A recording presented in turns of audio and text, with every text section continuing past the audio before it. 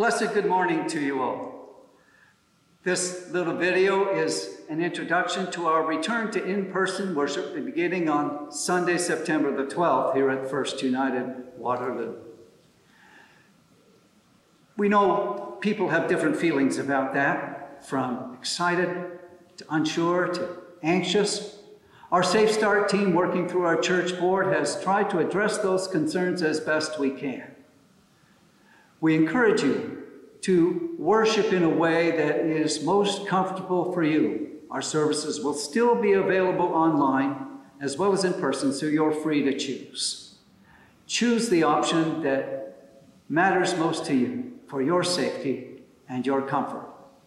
If you choose to come to in person worship, some things will be the same. A number of other things will be different. Let's take a look at what you might expect and we'll start in the parking lot. When you arrive, we ask that you would park at Waterloo Town Square lot. All the parking spots in our daytime parking lot will be designated for those with special permits because of limited mobility. So if that applies to you, please park there and someone will assist you into the sanctuary. As you come into the church, there will be someone waiting for you in the narthex. You will be asked to do a COVID screening check and provide your contact information for tracing purposes. Once that is done, you'll head into the sanctuary where an usher will show you to your seat. We will be filling the seats from the front of the sanctuary to the back to provide for physical distancing. Please remember to keep your mask on at all times. We'll be starting worship at 10:30 as usual, but please try to come between 10 and 10:20 so that we have time to seat everyone. Music will be playing from about 10:15 onwards. Please know that there will be no printed bulletins, although if you are not able to see the screen, we can provide a large print one for you. Here are some of the things which will be different. There will be no hymn books or Bibles in the pews. We won't be receiving offering during worship. We ask that you place your offering in an offering plate at the back of the sanctuary as you enter.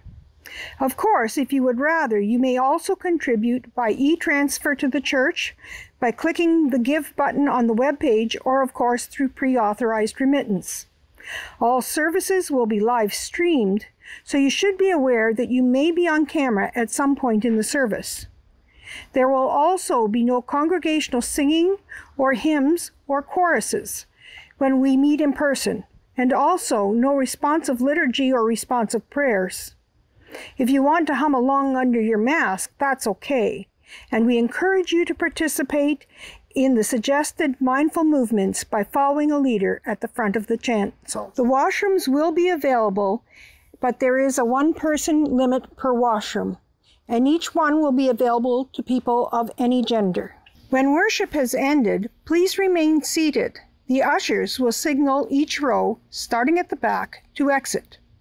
There will be no coffee time when we begin back, and we would ask that you leave by the door through which you came in a timely manner and head back to your vehicle.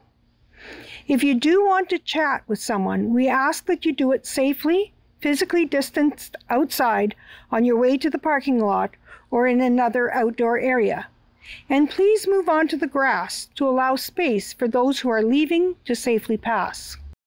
Thank you for sharing in our worship, whether it is in person or live streamed, and for helping us to consider everyone's safety, including yours, as we adjust to this next stage of living through COVID.